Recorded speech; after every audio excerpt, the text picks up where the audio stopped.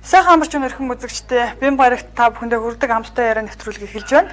Өнөөдрийн яриа үзэгчд олонд маань маш амттай сонирхолтой байх болно гэж би итгэлтэй байна. Яг гэвэл дэлхийд аргалдартай нэгэн сэтгүүлийг Монголд эрхлэн гаргах эрхийг олж авсан хамт олон уран бүтээлчд манай өнөөдрийн нэвтрүүлэг төрөгдсөн байна. Ингээ та бүхэнд өнөөдрийн мэнд хүргэе. Өнөөдрийн мэнд хүргэе. За бүсгүүчүүдэд бизнесмэнүүдэд салбар бүрийн хүмүүст дуулгахад Дэлхийд алдартай космополитен сэтгүүл Монголд хэлэгдэн гаргах эрхийг Ирмүн агентлаг авч олж авсан байгаа. Тэгээд энэ сэтгүүлийн ерөнхий эрхлэгч болор Бачка хоёр өргөдөж ирээд байна. Фото зурагчин Бачка хоёр өргөдөж ирээд байгаа. Тэгээд бидний яриа мэдээж сонирхолтой байна. Дээр нь хоол бол гарцааг амттай байна гэж бодож байна. Тэгээд өнөөдөр ямар хоол хийх вэ? А ер нь өнөөдөр бол нэлийн эрүүл хоол хий гэж бодож байгаа. Аа энэ зэрэг ногоонуудтай мах байгаа. Бага юу? Тий. Аа нууч юу? Махад ирж байгаа. За ингээд Яншгүй. Мөг. Нилээх нөгөө нарийн ногоонод орсон. Тийм болоо. За. Мөн гомонтой. Гомонтой. Тэгээд амтлагч улуутай. Ногоон айгүй жоон сонирхолтой. Тэгээд амтлагч шүү. За өнөөдөр хэрвээ гэртээ хоол ямар шинэ хоол, шинэ жор хоолндоо оруулах гэж байгаа хүн байвал бидний хийх хоолыг та бүхэн анхааралтай үзээрэй. Тэгээд сураад аваарай гэж хэлмээр. За хоол ээж эхлэе да. За. За эхлээд хулуугаа арчил эхлэх юм байна тийм ээ. Айлц нуунаас байна. Аа тийм үү. Ерөнхийдөө тоогооч бол бас үзэж байгаа үзэгчтэй хоолой сайхан тайлбарлана шүү дээ. Аха. Мм ер нь зүгээр миний өөрийн гэртээ хийдэг л хоол доо. За. За намайг сэтгүүлийг Монголд гарах боллоо. Тэгээд юуны төрөнд яагаад бас олон том брендийг Монголд оруулах боломжууд тодорхой хэмжээнд хүн амын цөөд төгөөч юм хаагдах тохиолдол бас байдаг тийм ээ. Тэгэхээр Монголд бол эрхийг авчихсан байна. Тэгэхээр тэр цэм монгол хэлээр гаргана гэдэг тэгэхээр илүү их олон хүрээг хамрах болоо гэж бодож байна. Тэгээд чом яаж энэ эрхийг авсан бэ? Ер нь бол манай 90 агентлаг яг космос сэтгүүлийг гаргахаар а 3 жилийн өмнө тийм зорилго тавьсан байна. Тэгээд тэрнээс хойш судалж үзээд мэдээж хэрэг маш өндөр шалгуур тавьдаг зах зээлээ мэдж гин үү тийм ээ уншигчаа мэдэрч гин үү а космос сэтгүүл нь өөрөө бас яг зорилтод уншигчтай байгаа. Яг эмгтээчүүдийн сэтгүүл гэсэн утгаараа яг тэрийг эмгтээчүүдэд өгч чадах уу? Космо гэдэг агуулгаар нь яг гаргаж чадах уу? Монгол агуулга нэмээд яг тийм Монгол уншигчдад яг ойлгохдохоор хүртээмжтэй ашигтай тийм мэдээллүүдийг оруулж чадах уу гэсэн мэж өндөр шалгууруудыг тавьсан байгаа. Аа тэгээ сая 9 сард бид манай Ирмөний Космо яг ажиллах одоо манай багийнхан Нью-Йоркт Космо дээр сургалтын суусан байгаа. Яг яг Космо сэтгүүл нь болохоор 100 гаруй оронд худалдаалагддаг. Аа 60 яг албан ёсны хувилбартай Монголынх 61 гэх нь болно гэсэн үг л дээ. Тэгээд 34 хэлээр гардаг.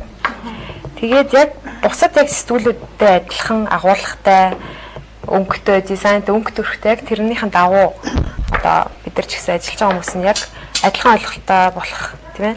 Яг космо гэдгийг хүргэж чадхаар тийм болохын тулд бид нар сая сургалтын зовоод ирсэн баг манахаас би манай фото зурагчин Бачка. Тэгээд арт директор за за бид гурав яваад ирсэн баг Сэтгүүлийн бол хамгийн гол үндсэн зүйл нэг үл яхаа фото зураг байдаг шүү дээ тийм ээ. Тэгэхээр сургалтанд суугаад ирлээ. Бидний ажиллах орчин, тэдний ажиллах орчин, ерөнхий зураг авалтын байдал гэдэргээд бас ялгаатай адил хэмжээтэй ч зүйлүүд олон байсан баха гэж бодож байна. Сонирхолтой. Ерөнхийдөө 2005 оноос хойш Ирмө агентлаг сэтгүүлийн салбар руу ороод өөрийн гэсэн тав нэрийн бүтээгдэхүүн тоосон байна тийм өнөөдөр. Энийгээ дагаад ч гэсэн бид нар бас гүйцэтгэлийн хэмжээнд өөрийн гэсэн институттай боллоо олон орны 2 3 орны юм экспертүүд авчирч ажилласан. Тэгээ яг бид нар хийсэн юм ач гэсэн очиод Hearst group дээр очиод хийсэн юм а тайлгнаад үзүүлээд бид нар Монголын төвшөнд иймэрхүү сэтгүүл гүйцэтгэж чинь зураг авалт иймэрхүү хэмжээнд хийж чинь гэхэд бол ерөнхийдөө хоцрог байна тий болж байна. А тэгээ очиод үзлээ тэдний хэрэгэлдэг тоног төхөөрөмж студент ч гэсэн боломж яг байж байна. Тэгээд яг космогийн хувьд ярихад Космо өөрийн гэсэн ерөөсөө зураг авалт доторх бүлэг агуулгууд дээр өөрийн гэсэн яг өнгө үзэмжтэй яг зураг яг яаж авагдах ёстой бүр өөрийн гэсэн тийм формат стандарт гэж байна. Тэрний талаар ерөнхийдөө судалж суралцсан хэлээ дээ. За сэтгүүлээ бас үзэгчтэй үзүүлээд тайлбарлаад ярьчих гэж бодож байна.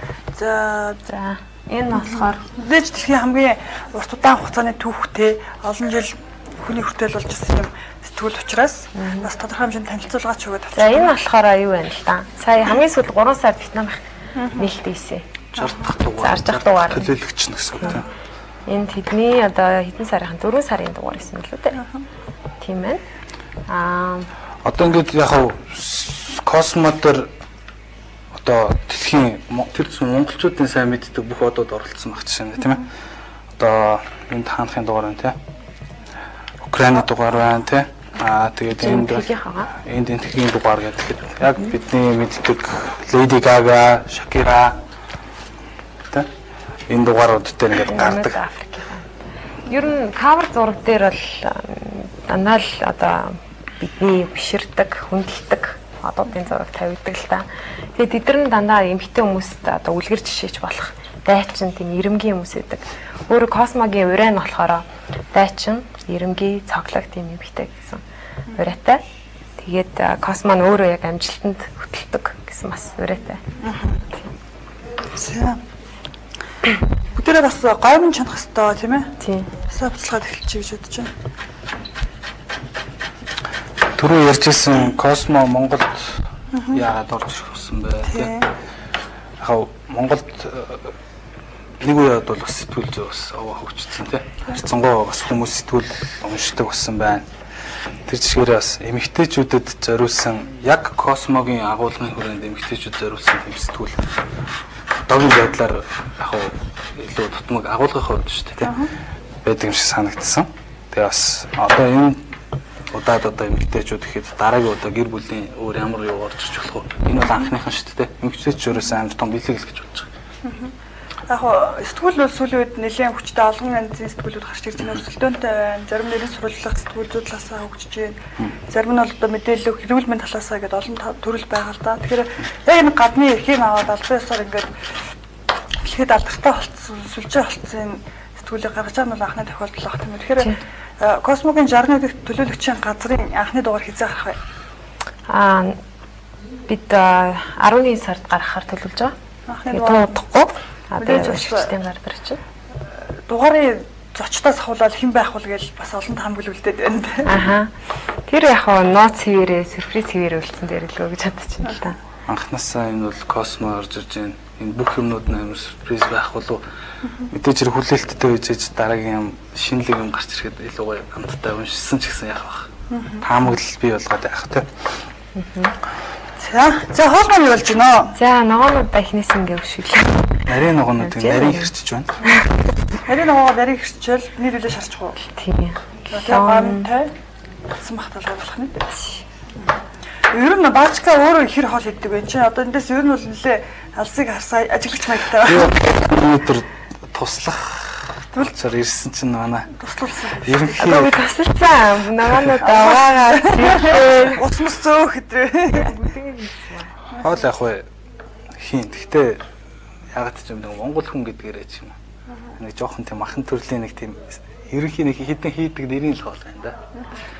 Ер нь хичнээн жил яг энэ салбарт ажиллаж байна. Фото зураг гэдэг бол сүүлийн үед бүр хамгийн хүчтэй өгч байгаа салбар шүү дээ. Тийм. Фото зургийн хувьд бол одоо 2005 оноос хойш яг одоо мэрэгшүүлэх мэрэгжлийн гэх юм уу тиймэрхүү төвчний сэтгүүлийн хэмжээний чанартай зураг авалтыг хийх тийм сургалтанд хамрагдаад ажиллаж байна. Яг гоо 2000 оноос эхэлж лээсэн л та. Тухайд ч гэсэн Монголд фотогийн хэрэглэх багц хэрэгслээс ахуулаад ер нь зааж хийж өгөх тийм хүн ч Монгол байсангүй шүү дээ. Одоо бол харьцангуй интернет нээлттэй гадагшаа дуртай юм ороод судлаад хичээл үзээд яг болсон. Манай залуучууд Балрын хувьд бол би маш азтай гэж бодож байна. Тэгээд онтой азтай явж байна. Яа тэгэхээр ерөнхий хэрэглэгчээр одоо ажиллаж эхэлсэн тийм ээ. Тэгэхээр мэдээж хариуцлагын хувьд э, хийх ажил их байгаа. Хариуцлага өндөр байгаа. Тэгээд хүлээж чад хүлээлт үүсчлээ шүү дээ. Маш өндөр хүлээлттэй өссөн маа л гэж бодож байна. Хичнээн жил ерөн сэтгүүлч мөрчлээ. Аа би сэтгүүлч мэрэгчлээ. Сая хэвлэлийн үргэлжлэнгийн сэтгүүл зүйн дэд курс гэсэн маа.